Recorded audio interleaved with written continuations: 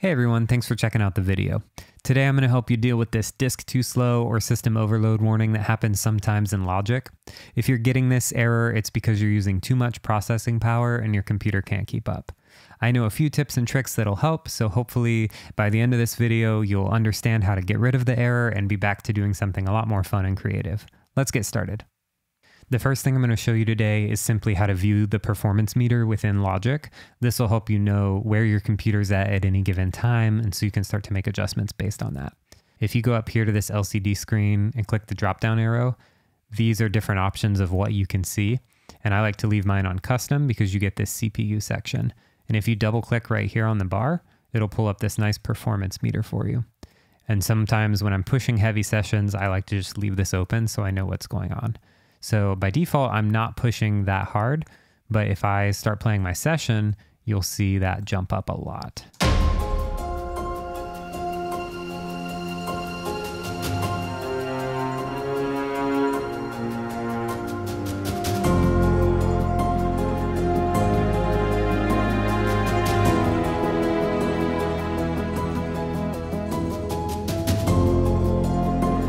See, I'm getting peaks already around 50%. And so we'll go through a few things that'll help to combat that. The first thing to look for is your I.O. buffer size. That can be found in Logic Pro, Preferences, and Audio. If you've not seen this screen before, this is where you can change your audio device, switch between an interface or built-in speakers. Right below it is this I.O. buffer size. And what this does is tells the computer how quickly it needs to get audio in and back out to you as the listener. With a low buffer size, you get a very quick round trip latency and a very quick output. So this is great for recording because you need to get the sound in and back out to your monitoring situation very quickly so you don't feel any delay. But this takes more processing power to do this. So if you're not recording, put this up to 1024. This is going to result in higher latency, but when you're mixing, it doesn't matter as much. And so you'll be able to save processing power and use it for more important things like plugins and all of that processing. If you're not already on 1024, go ahead and put it there. But if you're doing something where you need that quick response with the audio, keep that lower. And sometimes you can get away with somewhere like 128. That's only a 9.1 millisecond round trip, and so that's not too bad. But if you start to feel it, then you'll just need to knock it up a little higher. But definitely on the mixing stage, get it as high as you can because the latency isn't going to affect you as the mixer. When you're done there, you can hit apply and you're good. You might get a pinwheel. Yep. You're going to want to check that first, definitely, because that's one of the easiest things to change. Next is to use more sends than inserts.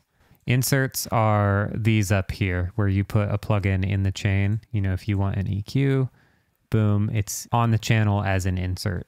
In, the audio is going to go through this, you've inserted it into the chain. However, you can also put plugins on sends, which is this lower section here. In this instance, a lot of my kind of orchestral instruments, things I want to sound like they're in the room, I've sent them all to this bus one, and that can be found over here. Bus one, and I have a reverb on that. If I were to, instead of using a send, if I were to put an insert on every single channel with reverb, it's going to max out my CPU in no time. Actually, let's try it. So I'm going to go to every channel in the mix here and add a reverb. Okay, now every single channel has a reverb. You can see already it spiked a little bit when I did that, but then when I hit play, it's going to be a lot more processing than before. Also, this sounds terrible.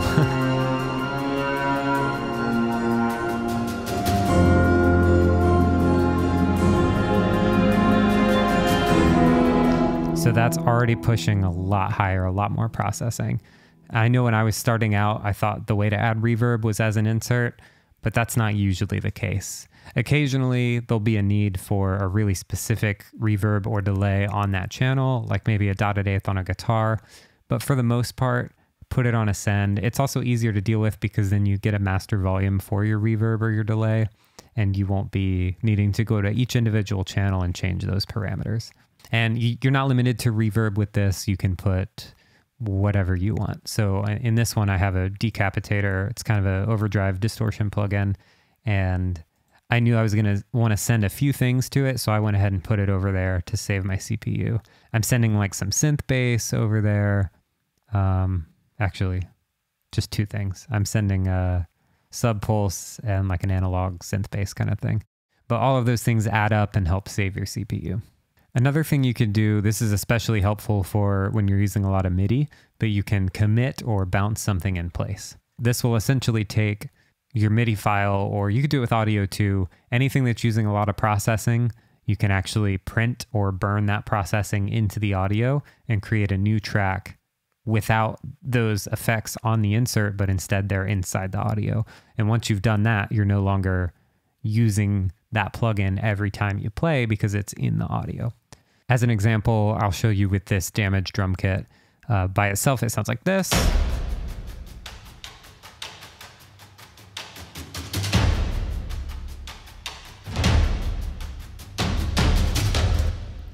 So what you can do with this is right click, bounce in place. So that's under bounce and join, bounce in place.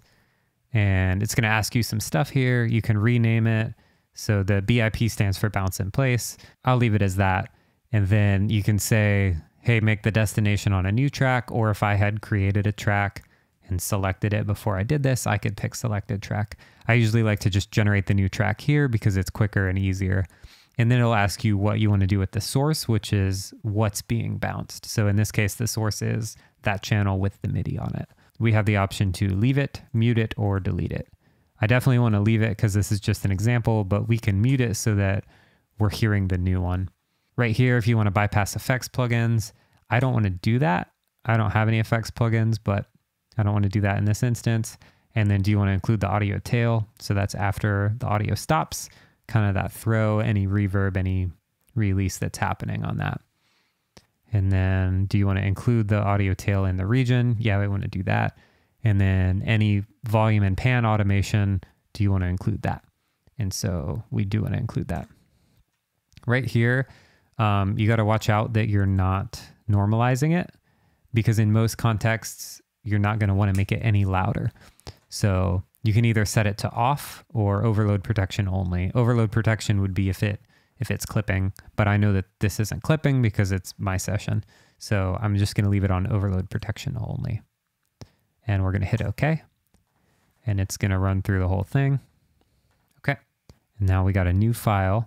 Now you'll notice that the volume on this new file is set to unity, even though the volume on our old one was minus 7.4. The reason for this is because it has printed the volume information onto the new file. So even though this fader is higher, it's been printed at minus 7.4. And so then it starts you back at unity with those changes in the file itself. And then if we hit play, it will hear that it's the same thing.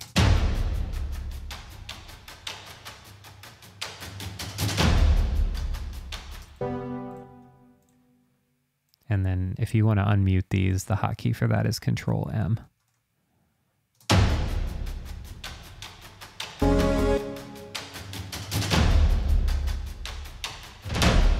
When you're all done with that, you get a carbon copy audio file of whatever you've bounced in place. This is awesome because as you're going, if you decide that's good, I'm not going to make any other kind of creative changes to it, bounce it in place, delete your old track, you're saving CPU. You can do this as much as you want through the mix, but it is called committing because you can't go back.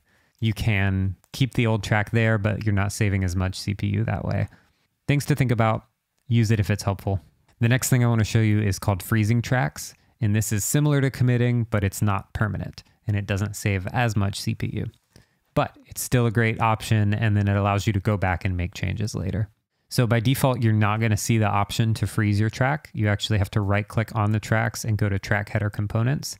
And right here, you're going to look for this fifth one down. It's called freeze. Once you click that, you get this little icicle and you can click as many as you want and nothing's going to happen. But as soon as you hit play, it's going to say, hold on, we got to freeze these. And it's just going to run through and freeze them all in place. Once it's done, you're done. Your CPU is going to calm back down and then you're able to play your session like no big deal. But when you want to go make a change, oh, you can actually change sends. That's nice. But you cannot add, see when I try to go add an audio effect here, I get the little frozen thing. It won't let me change it. Um, you have to unfreeze to go in and change those things. But that's a great way to save CPU and not hard commit to your changes. And when you're ready to unfreeze, you just click it, it does a little thing, and then you're good to go. But you can already see it's using more processing. So that's another great option for you to save CPU as you go. The last thing I want to talk about, and this is more of a bonus tip, but use lighter plugins. You don't always have to grab the coolest, most colored analog EQ. If I were to go through and load up all these channels with a really heavy EQ, whether it's like something from Waves or like FabFilter, it's going to tax my CPU more. If it's just a simple task, like you're rolling off a little bit of lows from something, or you just want to cut some mids, just use the regular channel EQ. It's also quick and easy to get to. You just click that thumbnail right there. It's going to save you CPU in the long run. Not to say you can never use your heavier EQs because there's a place for those. They they could sound better. They could add their own color, but especially for things like you know if you're just EQing a little shaker that's way in the back, like no one's going to be mad about you not using the SSL EQ for that. So you can use your regular EQ for that, and it could also help. Same for compression. The Logic compressor is super lightweight. It's not going to kill your CPU. Another thing you can do, and I did it a lot in this particular session, is create track stacks, which are groups of a lot of channels going to one bus as an output. And then you can apply processing to that bus as a whole. For the drums, for example, all the percussion. So I've got my main damage kit. I've got auxiliary percussion, rise and hit, timpani, like a lot of stuff is happening here. Um, and I wanted to do almost nothing on the EQ. And so instead of putting this EQ on every channel, I decided to send them all to a bus, a track stack, and just put one EQ on it. And that's doing the job of, you know, eight or nine EQs here, plus the compression as well. So this one track stack right here is essentially saving me from using like 16 individual plugins. That's another thing to think about as you go. This might not always work because you might want to do things to tracks individually. So just something else to keep in mind.